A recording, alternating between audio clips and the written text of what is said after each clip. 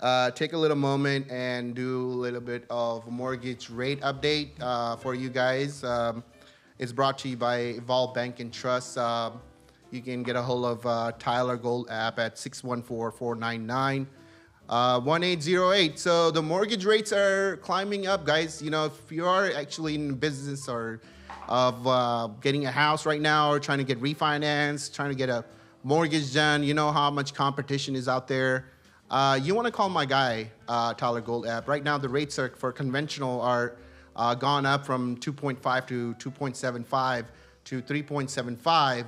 Um, also, as we always tell you guys, we have a Heroes program which helps our heroes uh, get down payment assistance uh, for our firefighters, our police department, for our military personnel, VA loans, and we have our teachers and we have our um, you know healthcare workers. Like I always tell you guys, shout out to all the healthcare workers working frontline on COVID. And um, for our regular, um, you know, uh, folks out there, you can reach us out. We do also have a down payment program for them. It's called T-Shack or SET. Um, you know, as long as you have two years of income, uh, self-employed or or W-2, uh, we can help you finance your home. You know, um, obviously um, that's with Tyler Goldapp at, at, Evolve Bank.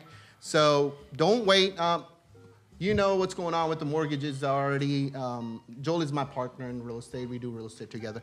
Um, and it's it's very. We talked about it on the phone, right, Joel? Like get them conditionally approved. Yes. Get them conditionally approved. You know, so that way uh, we can actually have that you know solid letter. Um, appraisal waivers are still going on. Um, so if you are actually trying to put a offer, which is p- pretty much all all houses have bids going on, which we're going to talk about it uh, in a little bit after the break on our real estate segment. Uh, but if you guys want to go ahead and um, get pre-qualified or uh, uh, find out about any, any of those programs that I just spoke of, uh, you can reach out to me or Joel, um, or you can get a hold of uh, Tyler at Evolve Bank. Uh, we will put his link uh, in the bio section where you can just go straight to his uh, pre-approval website and you can fill out your information. So, with that said, um,